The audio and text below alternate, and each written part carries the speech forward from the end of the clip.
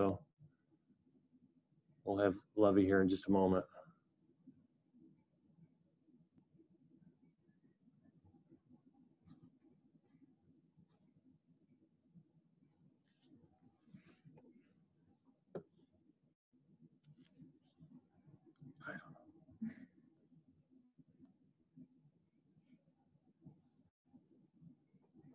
We had Wisconsin sky like in like I want some like a really high lot of like natural light and stuff and it just like looks so much better than being under like these yellow.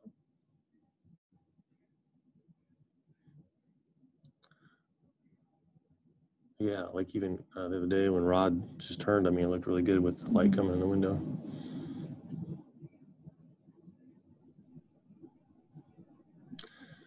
All right, there's coach.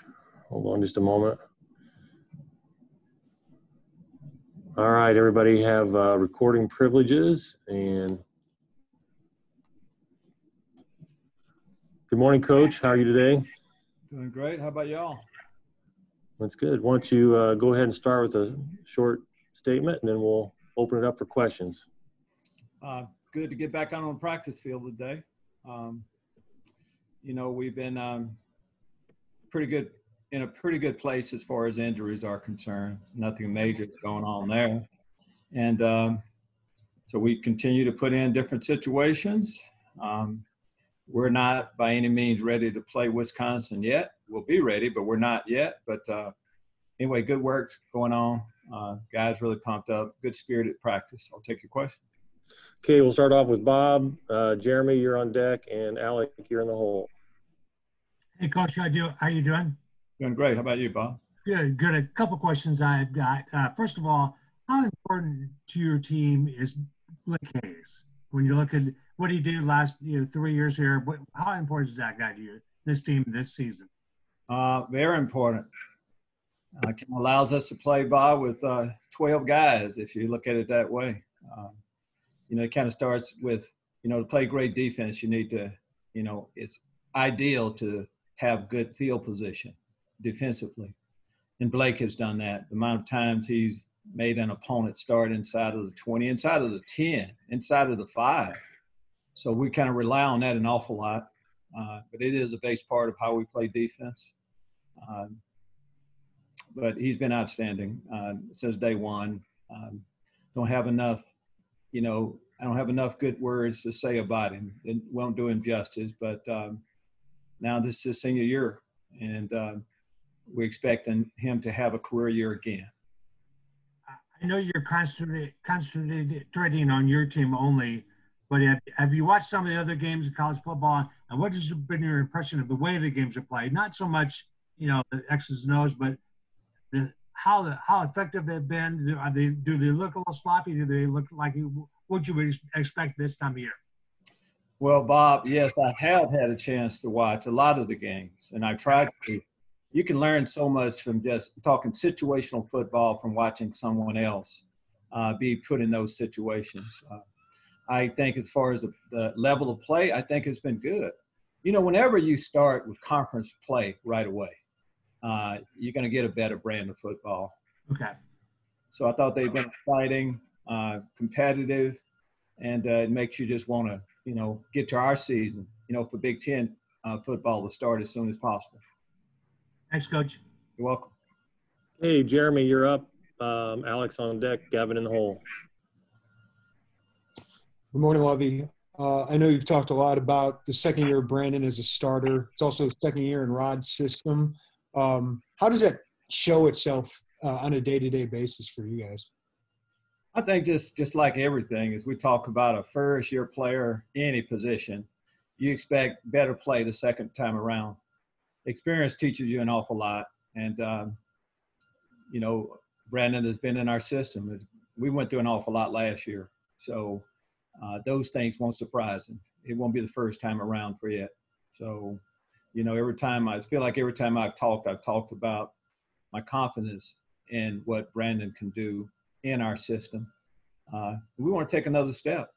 Passing game wise, you know, we had some big plays thrown up, you know, especially to Josh Bebe, but we have other weapons. So I'm anxious to see how we spread the ball around a lot more and and get this next group of running backs really involved with our offense. What what are areas you think he can improve? I mean, all areas. That's what he's going to tell you. Uh, short, short throws, uh, deep throws. Uh, most time you talk about just quarterback play, it's about you know decisions that you make throughout. Brandon has made good decisions. It's one of the reasons why I like him. He's protected the football. But in an ideal world, you know, zero turnovers offensively. In an ideal world, I've never been in an ideal world, but we're going to still be shooting for that. Thank you. Lovie. Welcome. Okay, Alec, morning. you're up. Gavin, you're on deck. Good morning, Coach. Thanks for doing this. Um, I know last week you mentioned that every player on your roster is currently registered to vote. Uh, can you just kind of talk about the process that that was like and getting everyone to vote and the feelings that it brings knowing that your team's going to have an impact on this election? Well, as we talk about, I mean, the social, uh, just social justice and what's happening in our world, uh, I want our guys to be involved in it. The best way to be involved, where you, where you can really make a difference, is at the ballot box by voting. So it's kind of simple as that. That's a right. You know, there are a lot of people who really fought hard for some of us to have a right to vote. So it'd be a shame not to use that. So it's not like we have to twist our arms. Uh, our guys are involved. Seem like young people today, more young people are involved in the process as, as much as ever before. So when that day comes, of course, we'll be out in force uh, if the guys haven't already voted. You mentioned when November 3rd comes that you guys are going to be out in force. Does that mean that you're planning to have some players vote in person at a polling place and then some guys are going to vote uh, through mail in ballots? And just kind of how did you guys come to that decision? Obviously, the out of state kids have to go more mail in. Uh, we haven't. We I just want them to vote.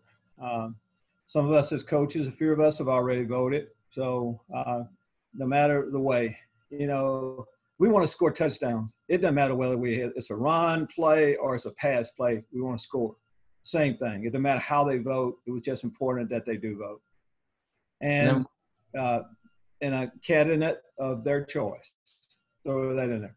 And one last question. Have you kind of gone through or had discussions with your team or have players kind of come and talk to you just about different platforms that these candidates may have, not just presidential candidates, but local government officials as well, just so they're an informed Yeah, vote? right now, you know, our con- our concentration is more on school and football, and we have time to get to that.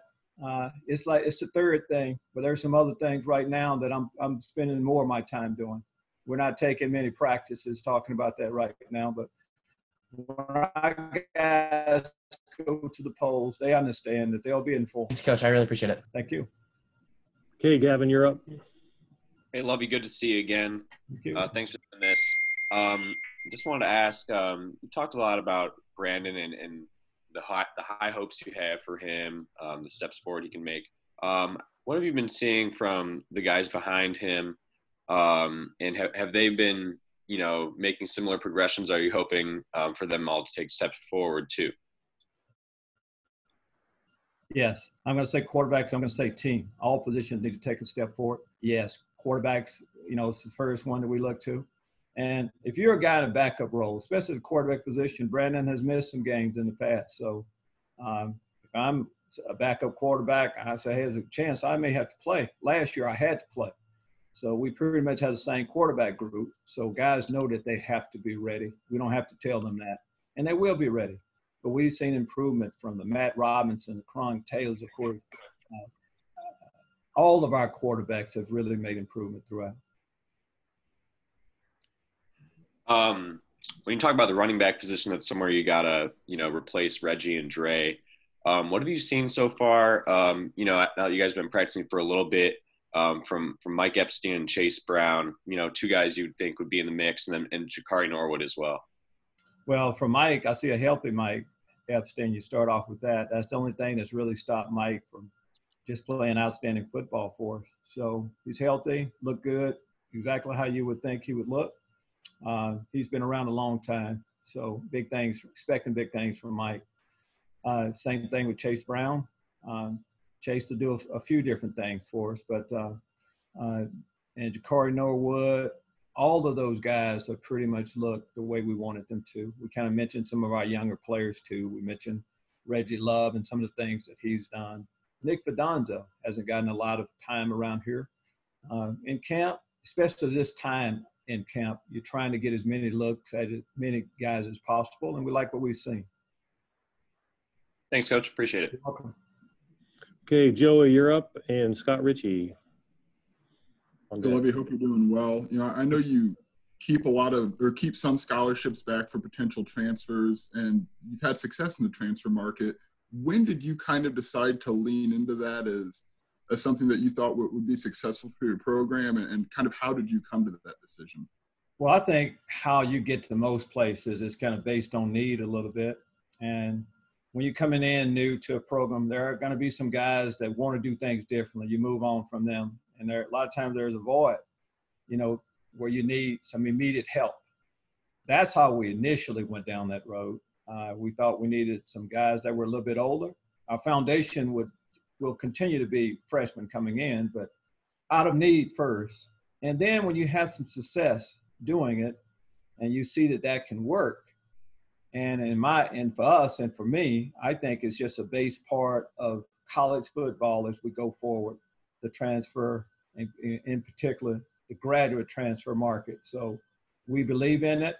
And the guys we got in our program have all been uh, outstanding guys on and off the football field. And uh, as I say, we'll continue to do it.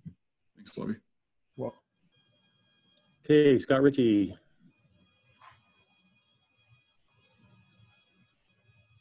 Sorry, hit the wrong button. Um, I guess, you said you know the team's maybe not ready to play Wisconsin today, but what do you feel you still need to get accomplished in the next 18 days before you play there in Madison? I'm not trying to get away from your question, but I, I think every coach you talk to uh, more than two weeks out will tell you that they're not ready to play yet. Where I think we're right on time, but we're not ready. So, what do we want to get accomplished? Everything. I mean, we're uh, nothing is fine tuned yet, but uh, we have most of the situations in, and now you'll just keep trying to get better at them daily. Uh, practice, experience, all that just helps. So that's where we are. I'm not displeased at all by any means. You know, as I talked about earlier, we haven't had any major injuries. We're, we've gotten most of our, uh, our most of our game playing in based on situational football, and uh, we're getting more and more looks at everyone. So I like where we are, but we need the rest of the practice. I guess given the opportunity and maybe a few more days in, pads since you know we, we've last talked, just have there been some maybe guys that haven't had maybe a, a lot of opportunities yet that you've seen maybe uh, impress you a little bit? Everybody's impressed. Guys, many day, how many practices have we had again? I've kind of forgotten. Six practices though, five or so. I mean, we still need the rest of the guys, rest of the practices to really see. It's not enough right now to really talk on anybody. Um, the guys that were playing for us last year, about where you thought they were. Uh, it's not like we've had a major scrimmage, anything like that yet. So, uh, be able to give you more information right now. Uh, business as as you would expect is what's happening here. Thank you. Welcome. Okay, Jim Cotter, Matt Stevens, and Steve Greenberg to wrap it up. Hi, Lovie. Hope you're doing well. Uh, I know this kind of follows along the injury question. I know Illinois doesn't post the uh, COVID positive numbers, but are you guys staying fairly healthy in that realm as well? I mean, if you don't want to answer that, you don't have to. But Oh, I feel yeah, feel that's yes. We're uh, we've been in a good place. I'll just say most of the time. We have daily testing right now. Uh, we have a protocol that we feel real good about. Um, so we don't have any issues. All our guys are practicing for the most part. So feel good about where we are. That's not really affecting us an awful lot. Our guys have been in compliance with what we've asked them to do. Um, really like what they've done as far as that concerned. And that's the only way to do it. If we're going to play football, that's what you have to do. You have to be able to sacrifice some things maybe you've done in the past, and, and that's what we have here. thanks, Lovie. You're welcome. Okay, Matt Stevens, Steve Greenberg.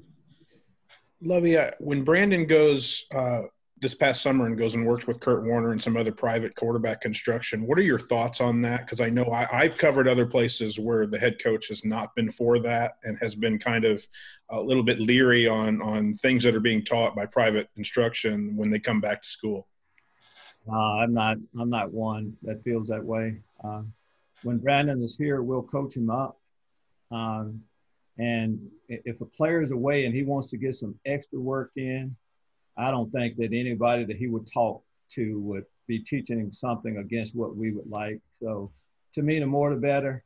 You know, when our guys leave here too, uh, Coach Lou is not necessarily just telling them what to do every workout.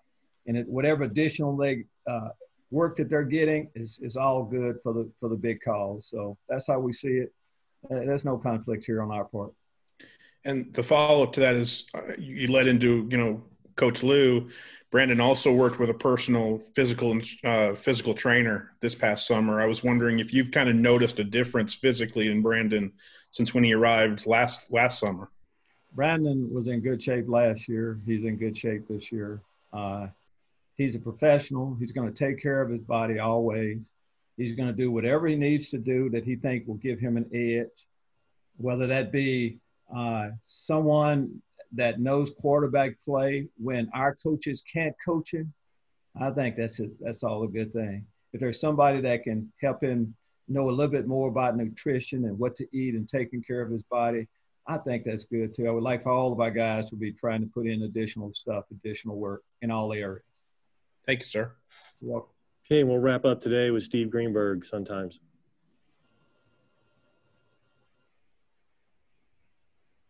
actually want to follow up on the on the broad subject of voting and ask you about when you were at Tulsa as a student. Hold on, hold on. Give me a little time to think all the way back to there. Look. Yeah, right. Well, I, I guess your your first presidential election would have been '76.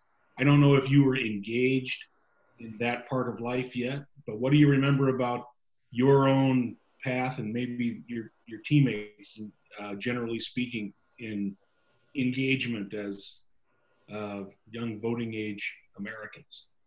Well, that was a long time ago. I was not as engaged as our, our athletes are now. Um, this wasn't, you know, coming from a small town, you know, went to Tulsa University. There's a lot of things, you know. My class, I think, was the only class that didn't have to register to uh, sign up of course, to join the military back then. I remember that part about what was happening socially, you know, nationally then. But I was not as engaged back then. I was probably part of the group that that didn't know how important that vote was back then. That's why I think it's so important that we make sure that our guys know exactly how important it really is now. Thanks for that. Well. All right. Uh, appreciate everybody's time today. Remember, we'll have Brandon tomorrow. Um, appreciate your time today, Coach. Thanks. Thanks much. Thanks to all the folks on the call. Appreciate it. We'll talk to you tomorrow.